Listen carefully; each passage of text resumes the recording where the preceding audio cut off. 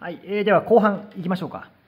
15で終わりと思ったらね、16までありました。すみません。だけ16からいきましょう。まあ、生徒に聞かれましたよ。これ先生、難易度はどれくらいですかと。うん、これはっきり言ってね、めっちゃ難しいと思いますよ。うん、めっちゃ難しいと思う。まあ少なくともセンターね、共通テストのレベルをはるかに超えてる。まあまあ、もしってそういうもんですからね。まあ、あんま気にせんでいいと思いますよ。うん。一言で言ってば難しいと思う。だから、もうあんま引きずる必要ない。いいですか、うん、変な問題もあったでしょ？これからもありますよ。うん、そこはもう気にしない。えー、そんな感じで。えーね、もしって難しいものと思ってやっていってください。いいですか？でもね、あのできなければいけないところもたくさんありますんでね、うんえー、そういうことですよ。まあ、そういうところを解説していき、ここはね、えー、もう捨てて構わないとかね、ここは大事だよとか、えー、そんな感じでやっていきたいと思います。ということで16番なんだけど、ね、うん、だけ毛利が、ね、毛利元就ですよ。3本の矢の教えでしょ？サンフレッチェですよ、サンフレッチェ。うん、秋の黒人、ここ大事ね。黒人出身ですよ、毛利は。こことても大事。で、そこあんま関係ないんですけどね。だからまあ、これ何ですか？うん、まあ、協約、うん。文国法とはちょっと違うか。えー、まあ、約束事みたいな感じやね。で、ほら見てこれ。ね、まあ、これ一気で出てくるよね。カラカサ連番っつって。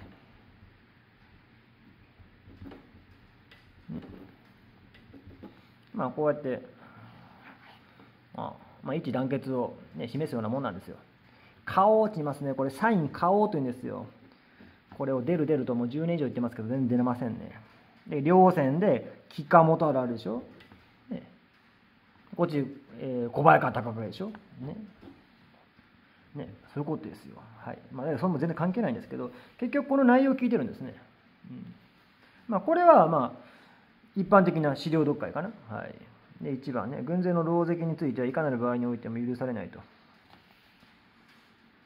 あ軍勢狼藉の儀固く制止ダメだと、うん、停止せやめんかったらあああ打ち果たすと、うん、しばくぞと言ってますね2番出陣中に独断で陣営を引き払うことは許さないこれめんどくさいねやっぱねこれか中に見たらこっちか勝手に引き払うなと勝手に変えるなとこれもまあ打ち果たされるしばかれるわけやねこんなね3は。契約内容の遵守を神仏に制約する形式。大体ほら、一気だってそうでしょ。ね。一味浸水でしょ。まあやっぱ神様に最後誓うんですよ。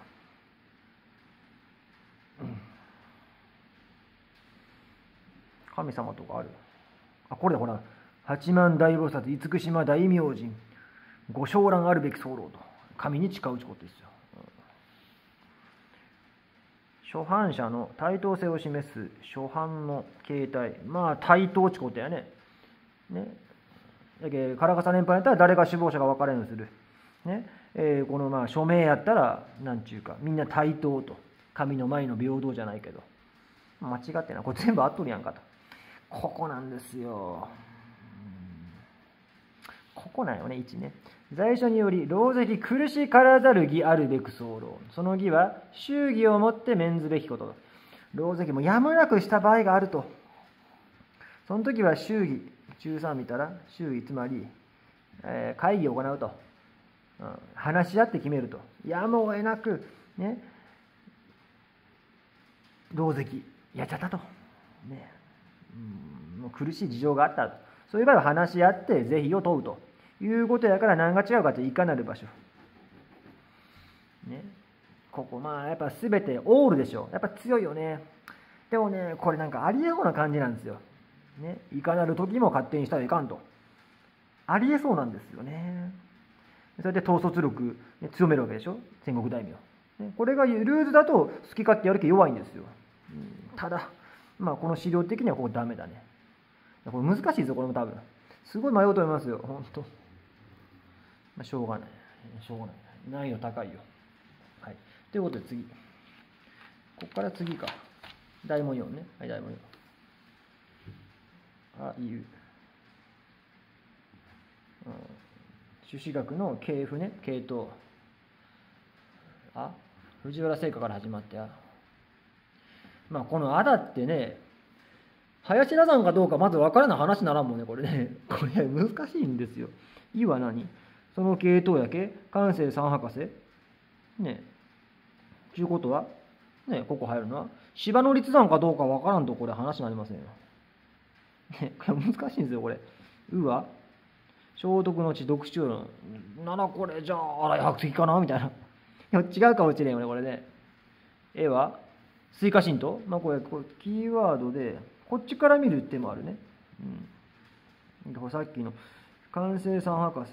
うん。まあ、やけ柴野栗山尾藤二洲。ね。えー、岡田寒泉のまあ一人、どれか一人かもしれんよね。ここはまあ白石限定できるね。出てきます。読史用論からあと5つ。ちょっと復習していこうか。新井白石大先生はもう著作6つ絶対です。絶対。50ページ。読書論ね。今回読書論でしょ。歴史書。もう次第やったら早期やったらもっと詳しく読書論見ていかなきゃいけんけどね。はい。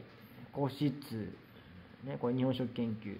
自伝折りたく柴の記間違っても紫とかしたらダメですよ。藩翰譜の翰がいやらしいんですよ。シドッチ関係ね。シュワッチじゃなくてこうシドッチ関係采覧異言西洋紀聞と6点セットでえー、え垂加神道やけ加えるでしょ？説明できないとダメよ。垂加神道は、山崎闇斎、ね、儒教。江戸時代だったら儒教、儒教でしょ？儒教。ね、まあ儒教と朱子学どう違うのか基本的イコールですけどね、儒教をもっとこう濃縮したら朱子学ですよ。うんえー、儒教的要素加わる。ね、限定できる。山崎安西。要はどれなんだと。結局あんまね関係ないんですよ。だから関西の3博士だけ関西の学でしょ。何年から ?178 と上がって1下がる。ね。ちゅうことは「い」は17世紀後半と18世紀前半やけどうなん？大体1700年ぐらいじゃないですか。知らんけど。この辺やろ。ちゅうことはこれ関西の改革はここでしょね、18世紀後半でしょ。ね、ねこう時期が違うんですよ。結局、これ誰が入るとかあんま関係ない。あんまりとか全然関係ない。関西三博士やけ、関西の外角やけ、時期違うじゃねえか。これ、あんまいい問題はないんですよ。申し訳ないけど。今、お前作れちゃ作りきらんけどね。作りきらんけど、もうちょっとこう、なんかね、って感じやな。うん、いや、これは、まあ、系譜で言ったら、芝の立山ね。これまで紫の近くでいますから、ね、三博士は尾藤自習岡田感染えー、っと感染の改革でしょ、えー、黒本あこれ国史黒本と言います。この使っている参考書。僕大体僕大体というか全てこの参考書を使って解説しますので。えー、っと完成の改革が45ページやね。はいここですよ。1787でしょ？18世紀後半でしょ？ダメと、はい。で、まあ、これ林羅山ね。言える？本朝津岩かける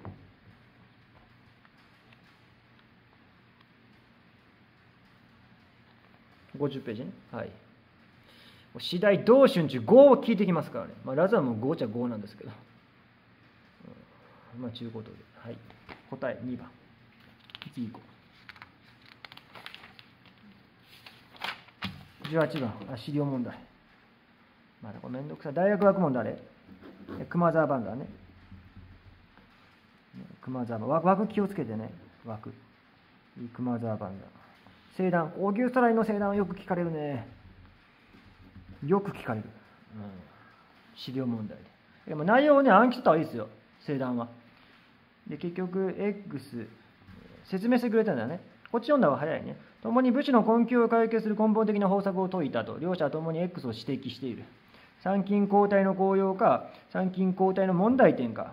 うん、武士貧乏になってるでしょ。ね。どっちなまあこれ見なくてもわかるでしょ。それはでも、なぜ貧乏になったのかって言ったら、まあ、幕府がそう仕向けたわけですからね。参勤交代を指したのは、大名の力を削ぐためでしょ。経済力をね、えー、ね、抑えるためですよ。金使わせて。だけどまあその通りになったわけですよね。だけど幕府としては狙い通りよ。狙い通り。まあそれが問題になってると。ね、これはまあ読まんでもなんとなく出てきませんか。ね、一応確認しようか。で、熊沢万山。ね、これ。えー、50ページさっき見たね、大学学問。これ、陽明学大事ですね。アクションです。えー、知行合一かけるをしてアクションを起こす。朱子学ね、え、儒教朱子学は基本的にこれ長いものには巻かれるんですよ。ね、だから家康はこれを採用したんですよ。幕府に従えとぐだぐだ言わんで、ね、長いものには巻かれなさい。これアクションを起こせですから。そしたら幕府からすれば危険ですよ。だから弾劾されますよ。大塩とかアクションを起こしたでしょ。そういうこと。あで、どっちなのか？まあちょっと見てみる。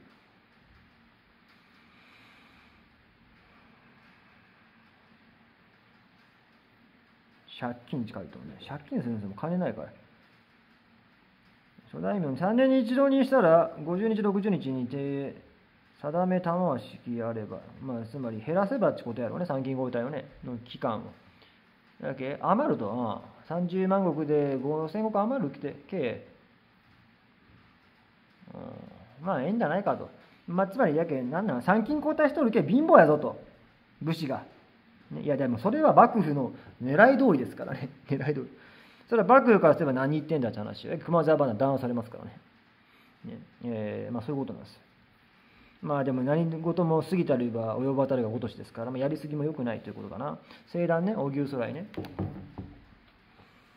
よく出るね。で犬猿塾ね。ぼらけとるねまあこれがね古文字学科は次第これ聞かれますね。形成論ともいいですよ。これちょっとめんどくさいね。まあ、まずは古文字学科で押さえておこうか。具体策、具体策、政治の具体策を論じると。でも参勤交代やめた方がいいと。これもう覚えた方が早いんですよ。だけど、生団何言ってんだっつうと、武士の土着。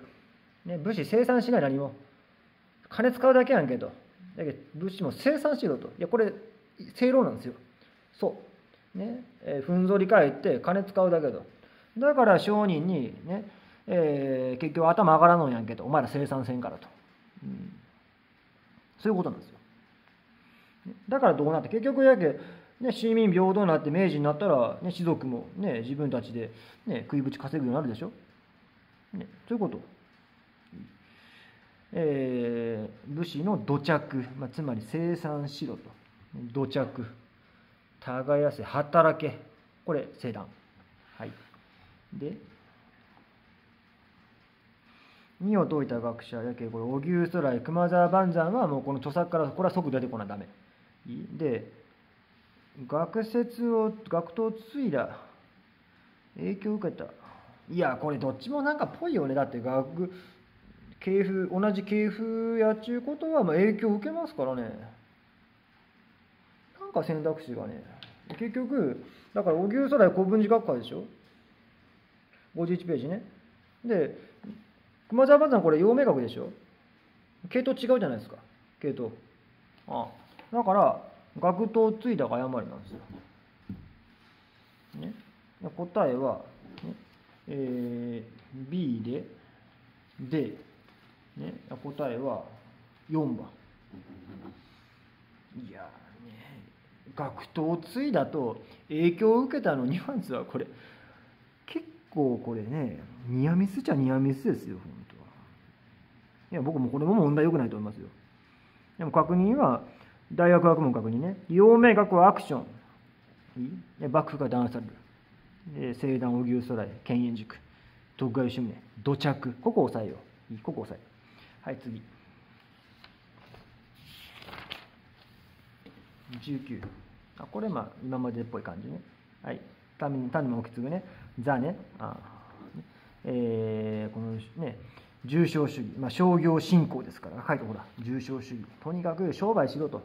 やけ明治維新先取ってますよ。食産工業売っとんですよ、ね、えすごいことですよ。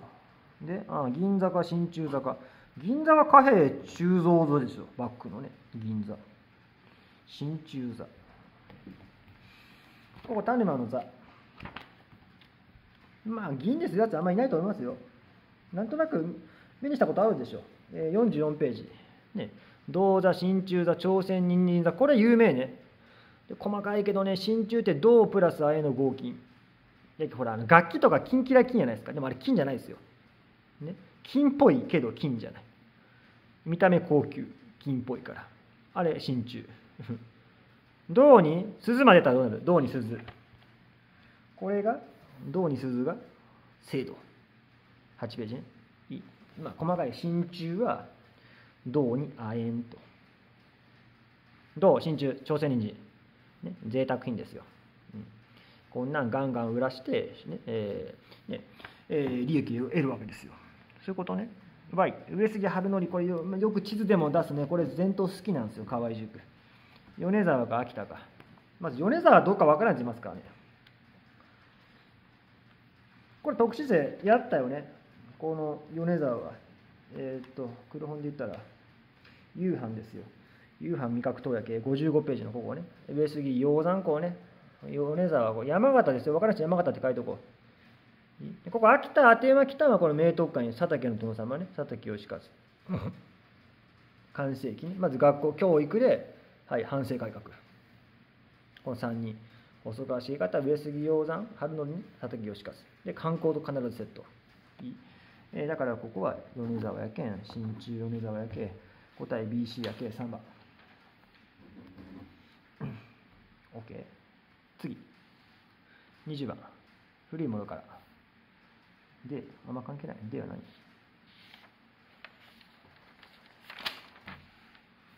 見る必要ないけどねどんだけもう新たに交流した蘭学ね。はい蘭学。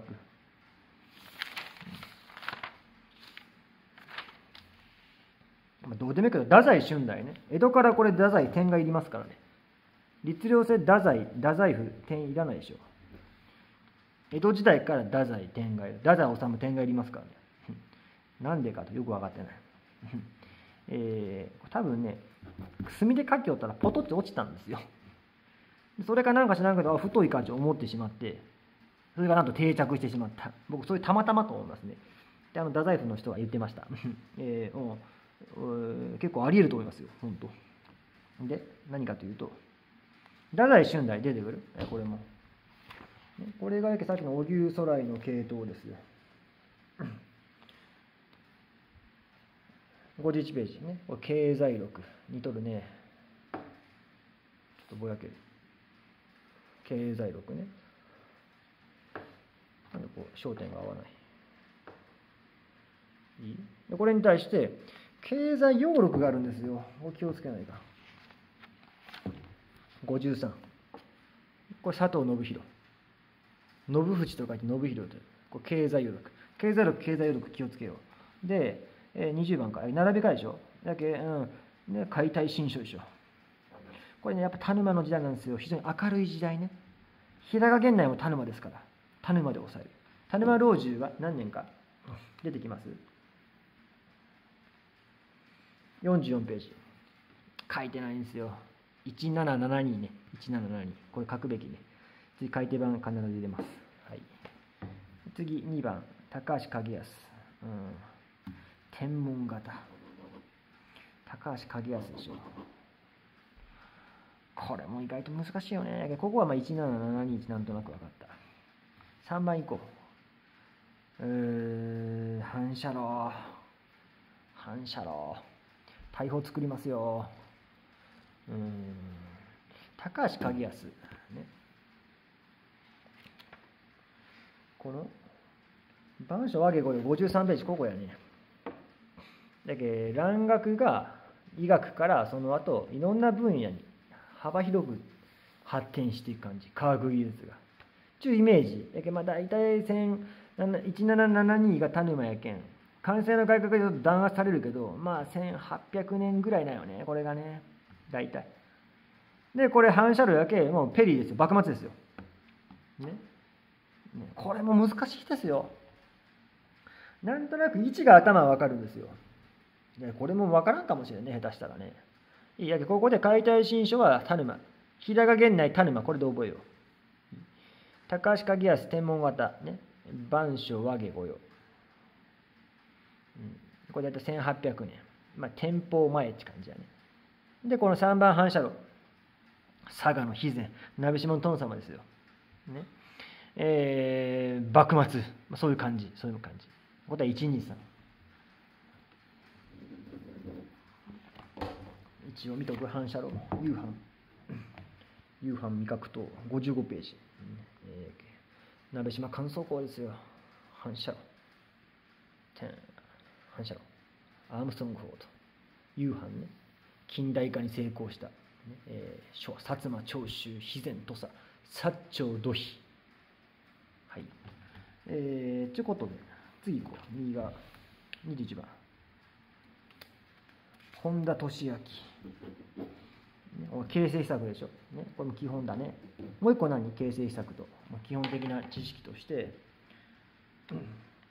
53ページ、ね、さっきちらっと佐藤信弘見ましたけど、はい、本田俊明、ね、形成施策とこの聖域物語、ね、まあ基本やっぱ重症主義なんですよ。商売やれと、えー、それしか道はないと。いやその通りなんですよね本当。で何？どこのこと？続投の海洋寺なのこれ。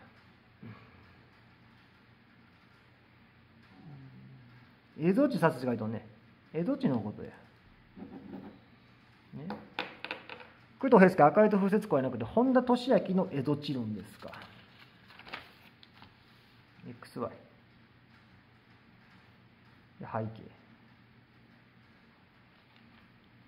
蝦夷地開発やれと国防強化食料増産うんね、ロシア問題ですね、やっぱ国防問題。食料増産、まあ広いですからね、ね北海道は。Y。ロシア、蝦夷地進出ね、そう。積極的な貿易を展開する、まあ、ロシアと積極的に貿易せと、交易を設置解いてますね、これね。うん。うん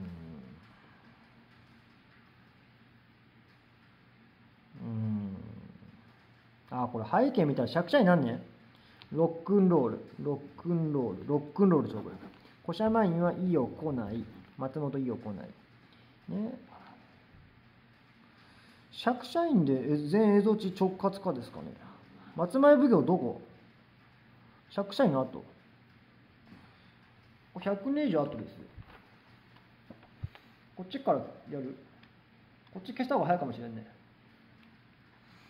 約46ページね、うん、このね江戸地近辺が紛糾を告げたとこですよ。ラクスマン・レザノフ五浪人の。ここでしょ。ほら1800年じゃないですか。また借社員で直轄かおかしいね。まあこれで BA 消せませんかね。ね瞬間こうなるよね。なんかなんか変なもんじゃないこれもね。こっち消せると思うねもう文章文言違いますからねちょこたロシア戦へどっちに愛好し、松村藩通称を要求するなどしていた。うん。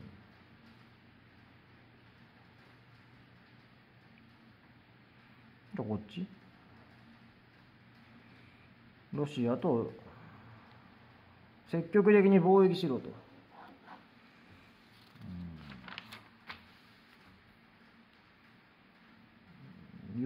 要害だと。ね、要衝、北海道大事やと、安全保障上、ロシアと接してますからねで。金山もあり、穀物も取れると、貯産物もでき、鮭とかありますからね、ね海産物もね、国力増殖。で、モスコヒアちなみに。モスクワか、ロシア、ロシアのこと。ロシアがのこの役人やってきて、カムサスカ、カムチャカが、はい。映像、横領して、図書に砦を築いて、どんどん入ってきとると。で、その地元の人を、ブイク、まあ、つまり、こき使いよう感じでしょうね、なんかね。ああ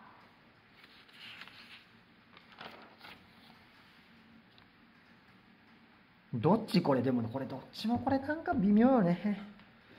結構悪いですよ選択肢が申し訳ないけどどう思います？まあただだけ貿易とは書いてないね。一言も。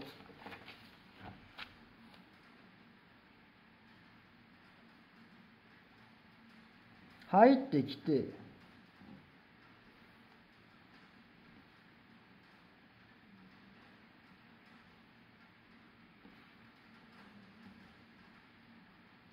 諸島に入ってきてどんどんこうなんちゅうか開業やけなんかお店開業じゃなくてこのどんどんこう支配していくって感じやね。この辺どんどんもうロシアの、ねえー、手に落ちとると砦まで作って、ね、地元のやつらこうね手なずけて。まあ貿易じゃないよね。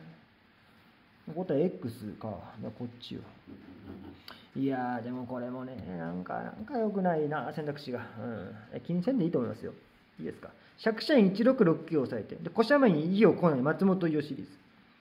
で、まあ、松前奉行ちょっとやったね。ラックスマン・レザノフ・ゴローニン・プチャーチンですよ。ロシア施設。ラックスマン・レザノフ・ゴローニン・プチャーチンと。ということで、はい、次。第5問。幕末。はい。四角に入るやつ。あまあこれ見た瞬間に雑穀老呉服糸でしょ？ああああね。あれですよ。もうこの品目で、幕末物不足もうストレートに輸出されだした。儲かりますから日本のものすごい人気あったんですよ。だから物なくなったと、ね、だからピピピピピと必ず江戸を通せと。五品江戸改装令これですよ。57ページ。雑穀水油ロー極福キート覚え方。ざまあみろゴキブリ雑穀水油。でローゴキブリ呉服キートと僕の高校の藤井先生は言いよった。はい。だけざまあみろやけみやないですか。水油。とりあえずこれ水油やね。これ C は消える、ね、はい。あと AB か。開口上で在庫商人らが商品を買い上げ、江戸の問屋に高値で卸している。江戸に卸すちことは、江戸に物があるちことじゃないですか。生産地で在庫商人らが商品を買い上げ、直接開口上に運んでいる。まあ、これは資料問題で読みましょうか。神奈川ね。うんうんうんうんうん。神奈川ね。日米和親条約ですよ。いいあれ結んだの神奈川ですからね。神奈川。確認しようか。日米和親。56ページ、日米和紙ね、神奈川条約。しかし、やってみると、ね、実は神奈川横浜の方がすごい便利やと。横浜に変わっていく。ちゅうことね。で、開口町の江戸物騒につき、5、府内中3何江戸入信の荷物愛ヘッドルと書式、うん、振ってそこになっとないってことやね。ね。あだからこれは貿易荷物つべてナイフより相回し候はずに候感と。ね、神奈川表積み出しマジック。マジック。マジック。マジック。これ覚えましたね。ノットですから。うん。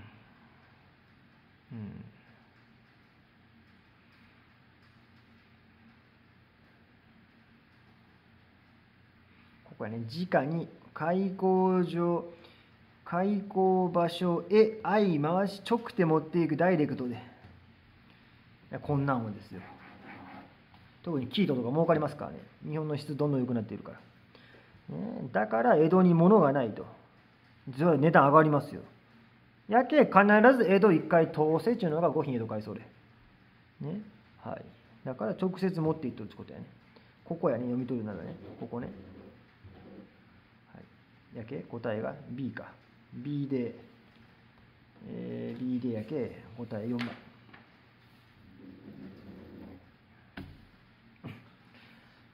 結構これめんどくさい。コヒネと回数で確認しましょう。よし次。お見た瞬間富岡製糸場ですよ。上州でしょ。何県？群馬県ですよ。書いてないな。X は丸×か。はい行こう。機械でフランスから輸入。まあ、フランスですからね。フランス製ですからね、建物はレンガやガラス窓を用いた洋風。まあ確かにレンガやね。見た感じね。和風じゃないよね。うん。洒落てますよ。Y 控除当時のデフレ政策デフレ政策っつったら松方デフレでしょ。松方デフレ何年 ?1880 年代ですよ。ほら73年。ああ10年早い。まだここデフレやってない。デフレやってない。ダメダメダメ。時期違う。こっちはバッツじゃない。バッツじゃない。富岡製紙フランス。食炭工業。63ページ。えー、っと富岡製紙ね。群馬にフランスの技術で富岡製紙作ったと。次第にそこのブリューなね。技師ですよ、うん、割と外国人ヘイトハンドするわけやね。はい。松方デフレは80年代ですかね。だけどほらあ次出てんのか。出てはない。まあ、次かぶるよね80年代。あほら85年これ銀本位ですよ。まあ直じゃないけどね。だけ82年日本銀行日銀でしょ。で85年銀本位やから80年代前半だよ。これまで73年でしょ×丸×答え2番これも気づかんとわからんやろうね。はい。まあそういうこと。まあ最初に痛い目あっておくべきですよ本当。地獄を知るはね天国の始まりって言葉ありますから。いいですか？次謝っとんの、はい。ガンガンできとね、会社がね、なんち言いますこれ。松方デフレのプラス面でしょ。ガンガン会社ができた。これ歴史用語で、そう、企業ぼっこ。えっ、と、松方デフレやけん。67ページ。企業ぼっこ。これプラス面。え松方デフレで、これ82、2がつけ日本銀行ね。いいで、85銀本位ですよ。金本位まだできんかった。えー、最初銀本位。ね、デタラメ紙幣のこの俯瞰紙幣俯瞰紙幣デタラメ紙幣ただの紙くずですから、ね、これを回収してちゃんとしたお金打艦紙幣を発行することに成功したわけよ。これ松方デフレプラス面。でもマイナス面でデフレやっちゃって、はい、農作物が、ね、下落します。農作物下落して、はい、貧乏になって暴動。二軍勝ちんだな福島高田群馬。で、川場ん秩父、最後大阪と。そういうことやね。67ページ。で、誤ったのが、俯瞰紙幣の発行が可能となった国立銀行。いや、国立、これね、気をつけないかん。国立銀行条例じゃあるよね。渋沢栄一。晴天をつけ。これ気をつけないかんのが、ね、国立銀行地、この国が経営してるわけじゃありませんよ。これ簡単に言うと民間ですよ。でなぜ国立銀行っていうのかというと、国の基準をクリアしたと。ね、ここね、一応書いてますけど、国立は国法に基づいて設立も国の基準クリアしたという意味ですよ。ここ気をつけないか。いいですか？次第にそれ153まで。はい。これ、ま、紛らしいじゃんね、ネーミングが。だけどお金発行するんは、やけもう日銀ですよ。82年日銀作ったでしょ。中央銀行だけですよ。この発見できるの。えー、っと、はい、ここですよ。ね、で発見するのは銀と交換できるえっ、ー、と、多感紙やけ。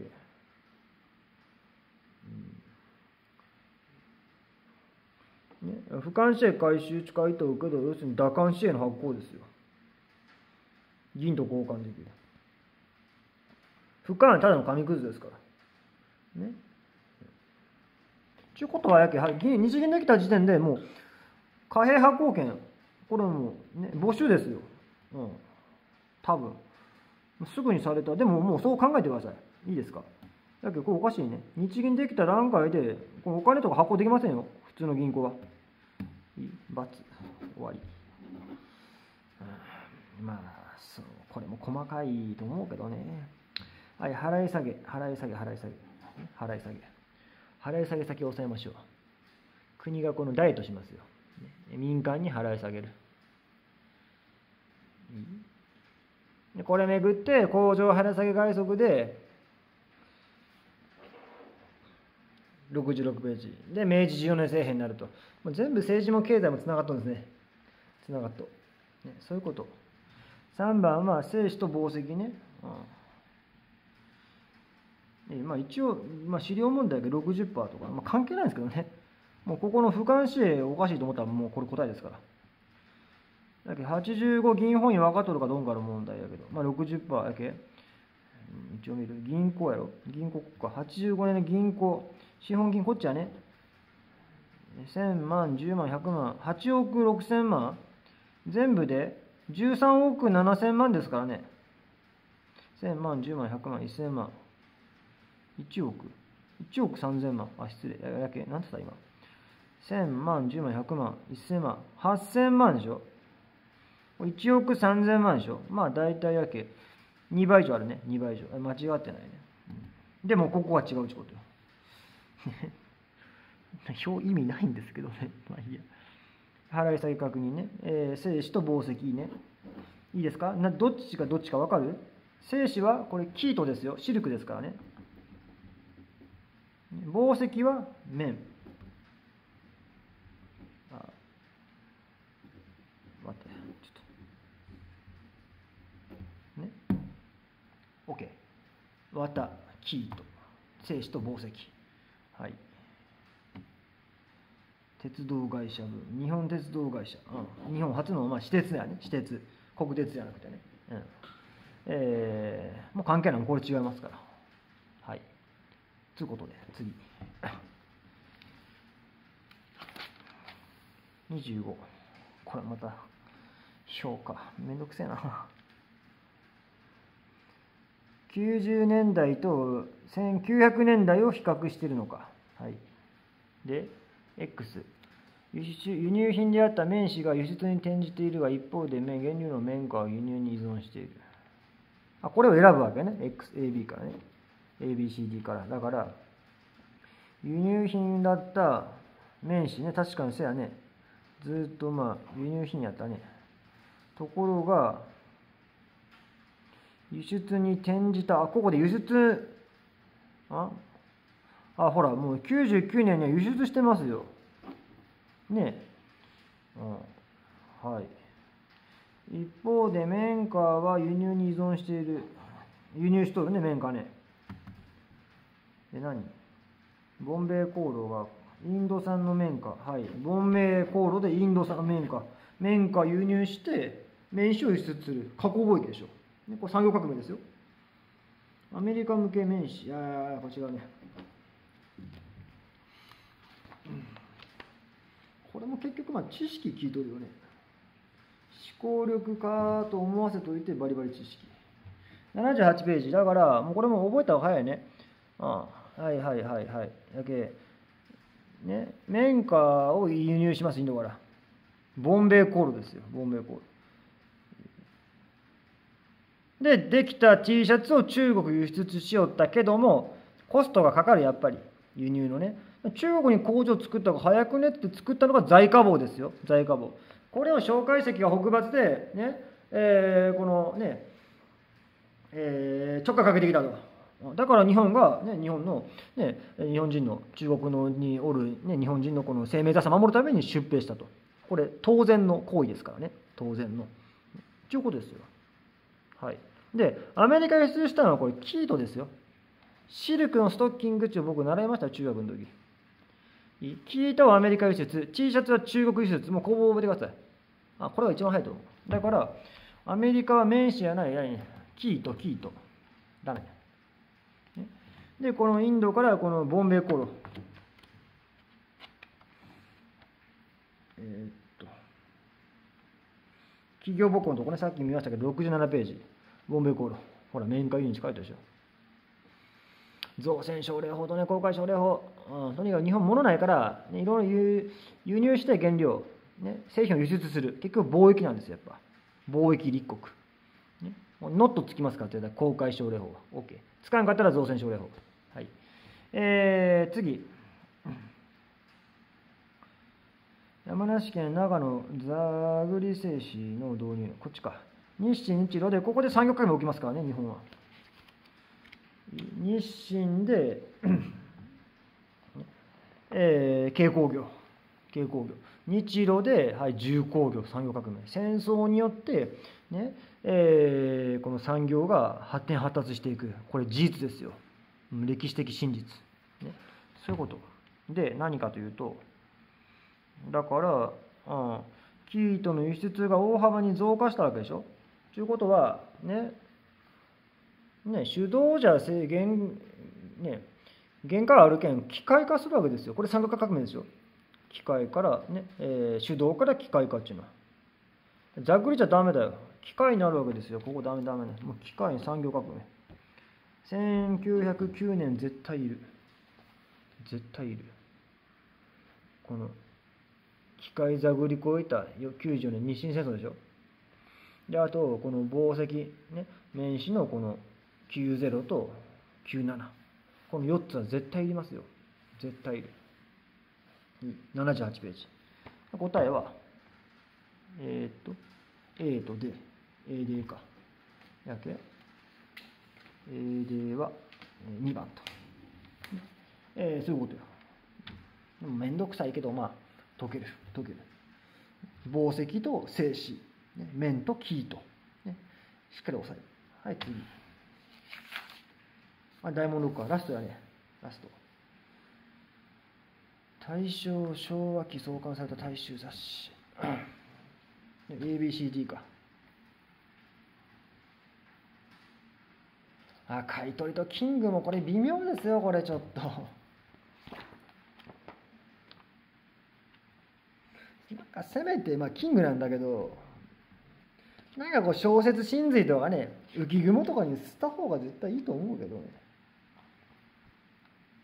えー、っと82ページやけこの鈴木美恵吉これ赤い鳥は児童文学ですからね。子供向けでしょ。だけ大衆雑誌じゃないですね、うん、でもちょっとこれも微妙ですよ。あ微妙。はいこっち。これ大菩薩峠やけ中田と海山書いてるね心ねここでやったでしょ僕わけわからなかったけど漱石夏目漱石中田と海山だから、ね、82ページ。まあ、ここ、大正デモクラシーシリーズ、中田と海山、大菩薩峠。やっぱ夏目漱石はこう見たらやっぱ明治、イメージでしょ。大正から昭和ですからね。まあ時代、ここは割と消しやすいと思う。ここね、僕だったら小説真髄とか赤い、ね、この浮雲とかなんかね、一躍の砂とか、まあ、そんなにしますけどね。はい。ということで、答えは、やけ、えー、っと、B と BC やけ答え3番。はい、そういうこと。OK。次。これ、教育、都市化。結局、結局 ABCD ね。はい。ABCD か。えー、っと、雨めっちゃ強い。聞こえます？雨の音。教育の普及と都市化の進展によって資料を持ち、説明考えた。教育が普及しとると、どっちの資料がええかと。うん、小学校数、あんま変わってない、これね。こっち見たら。中学校、うわ、めっちゃ増えとるやん、これ。めっちゃ増えとるやん。倍になっとるやん。高等女学校女子教育倍以上になっとる。3倍になっとるやん大体。こっちでしょやっぱ教育の普及だったら。こっちと比べたら。ねはい。次。こっちは都市化か。都市化なんやろね。都市化すると。どっちがいい？えー、死別人口上位10市はいこちは市と郡の割合これ見たらこっち市軍やけどどんどん支部が増えていくよね。ね。で軍が減っていくよね。人口がどんどんこう都市に集まるよって感じやね。都市化やんこれ。ね、これ、うん、別に中学生でも解けそうな感じやな。はい。で、なんか、で、で、なんち感じないけどね、なんか僕から言わせてもらったら、まあ一応解きましたよ。はい、次行こう。あ、江ノ県ね。今で言うね、古川六波ね。今で言うこの吉本新喜劇みたいな感じなんですよ。で昔はね、何気に大阪より浅草なんですよ。大阪より。ねえー、そういうこと一応ねエロ犬は一応黒本載せてんだな81ページここね。浅草。吉本新喜劇はどっちかというと戦後ですからね、うん、まあまあまあまあ。で。並び替えか。はい、うん、並び替えね。はいはいはい。これ溝口健二黒澤明あるからこれほらまずこれが戦後地分かるね。分からない。ダメよね。戦後地ね。黒本で言ったら一番最後だね。93ページ。ここね。ここね。黒澤明溝健。次2番。うん大正デモクラシーですよ。民本主義で。ね。ね大正時代やんな。で3番ほら。陶器でしょ。映画の歴史か。これね23がちょっと微妙だね。1がケツってのは分かるんですよ。1がケツ1500円。ね。だけど46よ。46さあ最後どうするか。大正デモクラシーっていうのは分かる。デモクラシーやけね。陶器で。81昭和なんですよ。これ陶器歴史帳ですからね。ああここ弁士じゃあるね。これナレーターね。声なかったんですよ。ナレーションがおったナレーターが。ところが動画に音が入った。これ陶器です当然白黒ですまだ。明治のこのね OHB カチャカチャカチャチコがね、えー、写真切り替えるこの活動写真ね。これが動画になるんですね。でもまだ音ないけんナレーション。次に音入った。でも白黒。で戦後からなると。そういう流れね。OK、間違った。らここチェックだね。陶器。昭和です。陶器昭和。でも昭和と大正も少し結構微妙ですからね。うん、まあ2が頭か。2が頭きて、次が3。ね。だけ2、3、1、これ4枚ね。うん、2の方が先やと。はい、時覚えようね。歴史を。次。29。で、古川ロッパー、男爵結構、ええところの生まれなんですな。ABCD。爵位は家督相続を受けた長男のみが受け継ぐのが原則だったと。男子がいない場合、養子を取って一旦爵位を付けさせることできなかった。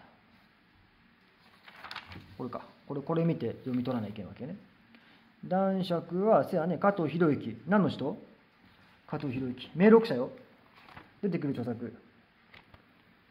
えー、っと。名録者、名録者。65ページね。この添付人権どこですよ。加藤博之、ここ、ここ。えっ、ー、と、こっち。人権親切。ね。まあね、これ、総計やったら国体審の申請単位までいりますけどね。はい。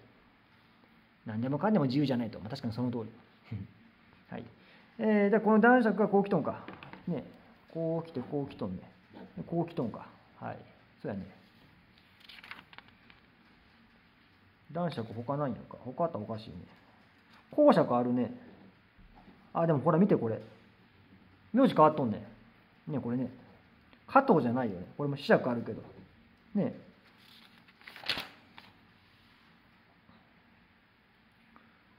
えー、っと。あ、だけど男子やね。長男ね。原則ね。養子を取って爵位継がせること。だってほら、山形伊三郎のとですよ。ああ、違う。これはやけ娘か。ほら、この、これですよ。これだって、子供なんやけど、ね、子爵になったでしょ？で、これほら、浜尾の名前変わっと。加藤四郎が。ってことは、ここから、あ、養子にいたことが推測できるよね。ほら、ここもそうやろ。加藤、なんちゅうの、加藤なんだけど京極に変わってる。ね。ああ知識の京極ね。やけまあそういうことやろ。はい。養子は OK で罰やね。いやちょっとまあ簡単じゃないね。C で。いやこれさでも家族家族例でしょ反式法かな？こうも瞬殺よ C は。家族例でしょ？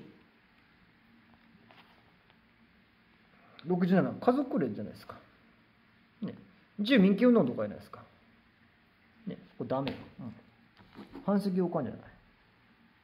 あやけまあ、山形伊三郎は、山形有友から、まあ、山形有友、そうなんやろね、きっとね。で結婚したのね。六波の、まあ、おばさんやね。おじさんなのね、義理のね。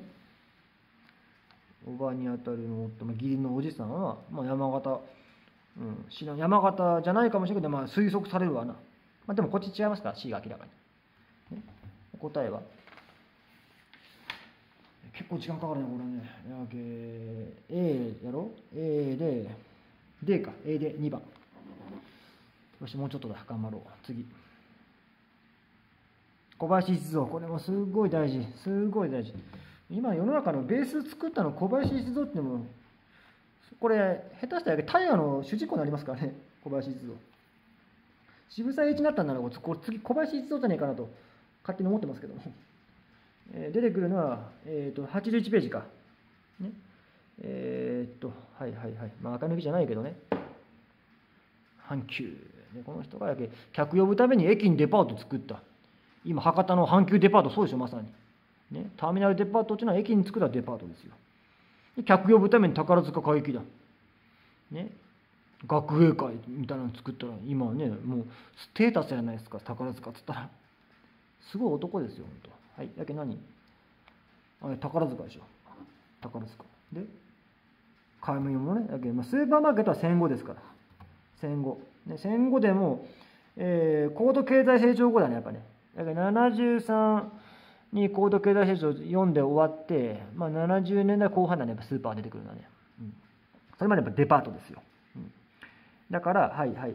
まあ、これちょっと早い。戦後。AC やけ、AC ミラン1番。OK。宝塚とターミナルデパート。小林一蔵。とても大事。はい、えー、っと。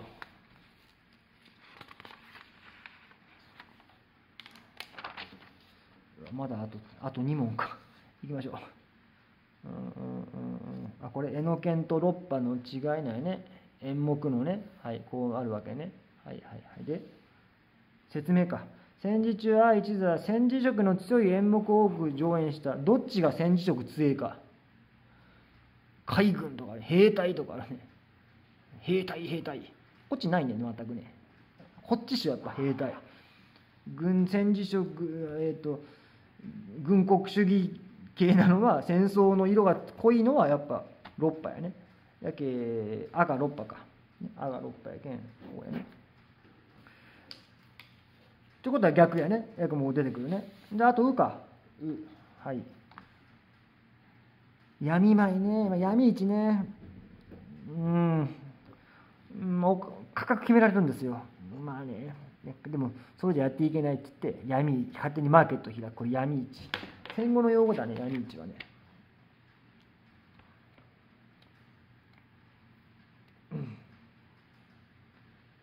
一応戦後の用語、闇市。92ページ。はい。で、うまあ、うが続いとる戦前から戦後も続いとるどっちか自治体警察か配給か続いとる、ね、だから勝手に売り買いできないってニュアンスだよね。これが配給なんですよ。配給答え4番、うん、戦後もしばらく続くんですね。もう食料なんですよ。本当すごい時代。飽食の今からはね、考えられる時代ですよ、本当。確認しよう。ね、だけどお米を、まず戦日中戦争後、物がないんですよ。もうなんか戦争するなって話なんですけど、えー、85ページ、はい、配給、配るね。配るために集めなくてはいけない。まず教室で集めます。一定の価格で。で、配る配給、そういうこと。でマッチ砂糖ももう切符制、自由に買えない。贅沢禁止。欲しがりません。勝つまでは。そういうことよ。戦前ね。これで中国と戦争しながらアメリカと戦争するんですからね、もう本当、もうなんか、ね、怒りを超えてお笑いになりますけどね、まあ、学ばなくてはいけませんね、歴史から本当。ラスト32、インターネット N 件。うん、テレビ放送でしょ。これだけもう53は覚えなくちゃいけません。覚えなきゃいけない。えー、っと、さっきの92ページね。黒本はこれ53赤抜きですから。えここでラジオ放送何年開始かよ。こ戦前よ、ラジオ放送。大正デモクラシーで、ね、81ページ。これ25。ちょうど加藤隆明25。3点セット言える ?3 点セット。普通選挙法、日ソ基本、ね、治安維持法3点セット。ここね。ラジオは25。テレビは53。OK。53やけんどうする？ほら、朝鮮戦争50覚えやすいでしょ。ね。あだけど、まあ、この後やね、ここやね。所得倍と池田隼人やから。ね、でこれオリンピックで、まあねえー、退陣しますからねね、花道ですから、64オリンピックやね、まあ OK ね、やっぱね。次、これか、カラー、ほら、カラーテレビになった 3C でしょ、3C。この 3C は、ね、東京オリンピックなんですよ、やっぱ基準。それまで基本白黒。ここオリンピックなんですね。オリンピック以降 3C が普及していく感じ。ね。92ページ。だから、うん、サミット、これが石油危機で起きますからね。話し合う。今こうコロナを話し合うみたいな感じでね、91ページ、ここで最初のサミット。その前に石油危機がある。うん、そういうことやね。石油危機73章。73イメージ。池田隼人オリンピックですからね、まあ、この後普及する。やけ答えはここやね。えー、糸、うや、けん、答えは3番。ラストか。まあ、京都議定書ね、これも環境問題ですからね。最後これ見て終わりましょうか。93、当然、四大郊外絶対ですよ。絶対。で、67郊外対策基本法、都市絶対いる。で、71環境庁絶対いる。で、京都議定書ね、アメリカ不参加、早慶出巻聞かれる。97。93ページね。OK。よし。ということで、いや、ちょっとね、まあまあ、何度も言いますけどね、あの地獄を知るは天国の始まりですから、えー、天国を味わえるようにあのしっかり歯を食いしばって頑張ってください。ではこれにて解説終わります。